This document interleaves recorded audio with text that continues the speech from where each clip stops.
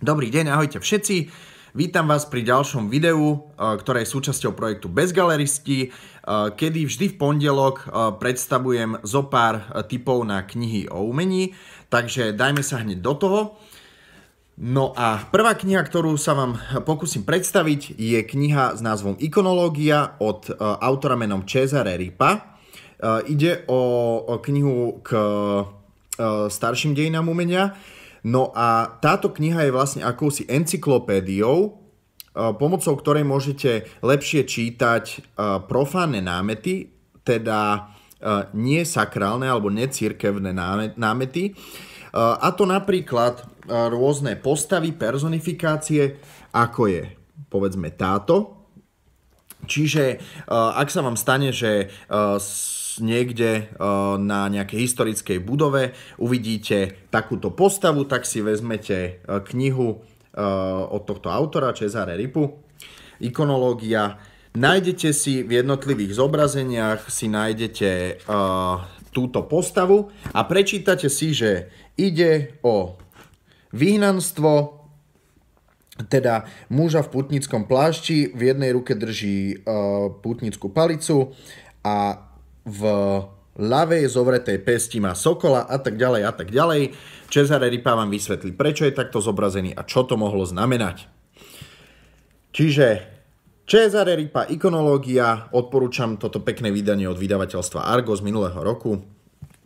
V prípade, že sa chcete viac dozvedieť o profánej ikonografii. Ďalšou knihou taktiež k staršiemu umeniu, ale trošku viac teoretickou, je kniha o dôležitej osobnosti dejín umenia od Ervina Panovského a kniha sa nazýva Idea, alebo tiež príspevok k histórii pojmu staršej teórie umenia. Takže týka sa teórie a konkrétne teda to, tomu pojmu základnému, ktorým je idea. No a Ervin Panovský sprevádza vlastne čitateľa významami a úlohami tohto pojmu v dejinách umenia a to teda od antiky až po klasicizmus, e, pričom teda prináša isté nejaké historické názory a pohľady e, na e, tento pojem. Inak od Ervina Panovského tiež e, odporúčam dielo Význam vo výtvarnom umení, ktoré je takým jedným zo základných, ktoré odporúčam určite pre všetkých, ktorí sa chcú lepšie, hĺbšie venovať štúdiu dejín umenia.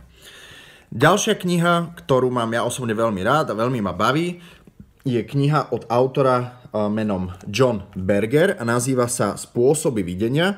A je to kniha, ktorá je veľmi zaujímavá napriek tomu, že je útla.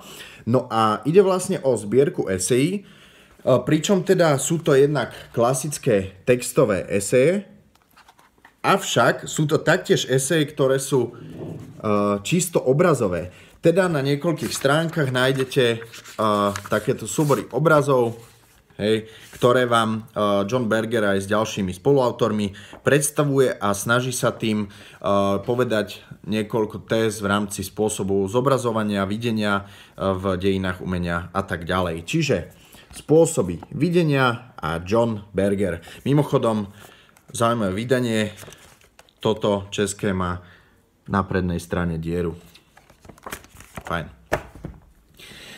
Ďalšie dve knihy sa budú týkať uh, toho novšieho umenia uh, na Slovensku teda dejinám umenia 20. storočia na Slovensku a prvým takýmto dielom je takáto veľká parádna kniha venujúca sa konkrétnej technike a to je grafika. Kniha sa nazýva Slovenská grafika 20. storočia a jej autormi sú Zuzana Bolmerová a Ivan Jančar. Je to veľká poctivá buchla, ale má to svoje opodstatnenie, pretože vnútri nájdete takéto parádne veľkoformátové grafiky. Hej. Vidíte aj takéto parádne zobrazenia. Autori teda v tejto knihe sprevádzajú dejinami grafiky v 20. storočí na našom území, pričom okrem takého historického prierezu pridávajú aj na záver medailón jedných autorov, čiže ak by ste chceli niečo viac vedieť napríklad o Stanovi Černom, tak vám prinášajú takýto, takýto súborný prehľad o jeho tvorbe, živote a tak ďalej. Posledná knižka, ktorú vám dnes predstavím a tiež sa teda týka e, slovenského e, umenia v 20. storočí, je kniha od Kataríny Ihringovej s názvom Vzťah slova a obrazu e, v slovenskom vizuálnom umení. Je to teda kniha, ktorá sa zaoberá slovom a textom v rámci slovenského výtvarného umenia, teda najmä v 20. storočí.